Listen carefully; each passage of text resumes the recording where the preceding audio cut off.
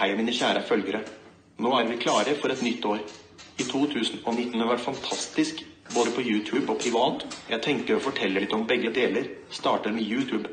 Jeg har snart nådd 100 følgere, og det er jeg veldig stolt over, så begynn å følge meg her hvis dere vil se en skikkelig bra 100 spesial. Så skal jeg fortelle litt om hvordan jeg har hatt det utenom YouTube. Jeg har begynt å løpe med en type sykkel, og den gjør meg sprek. Dere får se den til sommeren. Jeg skal lage en video med den. Uansett, jeg har hatt et fantastisk år. Godt nyttår alle sammen, så prekas med snart.